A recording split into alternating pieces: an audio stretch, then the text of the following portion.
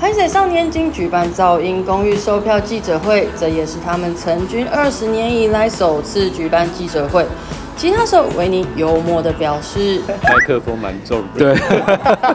金曲歌后郑一农惊喜站台，并送上寿桃，预祝六月一号开卖顺利完售。提到拍摄少年北流演唱会，他这么说：“你们知道北流很冷。”但是我觉得，我听说，对这一场应该会是最温暖的一场吧。我很期待，我可以脱下我的外套。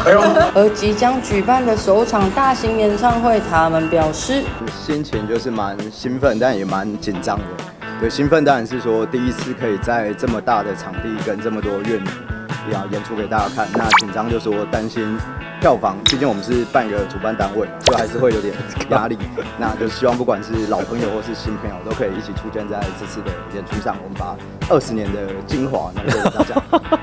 追梦的新专辑与北流演唱会，三人能心系国家大事，被遇到走上街头参与青鸟活动，他们说，你不能说去支持或是不支持，就是你想要知道。人都会，人都会关心一件事情，都会想要到现场去看看发生了什么事情。那主要是抱抱持这个心态的。记者肖方琪、陈德兴采访报道。